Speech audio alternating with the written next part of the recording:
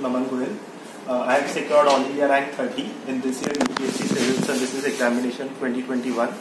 Uh, I take this opportunity to thank and express my heartfelt gratitude uh, to the KSG Academy team and especially Khan sir.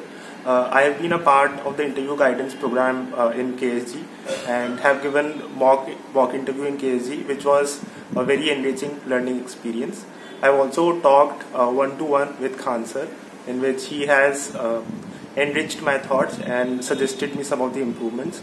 Uh, the last movement, uh, last moment suggestions by Khan sir and his uh, audio uh, motivated me and increased my confidence just before the uh, interview. So all thanks to the Khan sir and the KSG team for the support that they have provided for, for this in this examination. Thank you.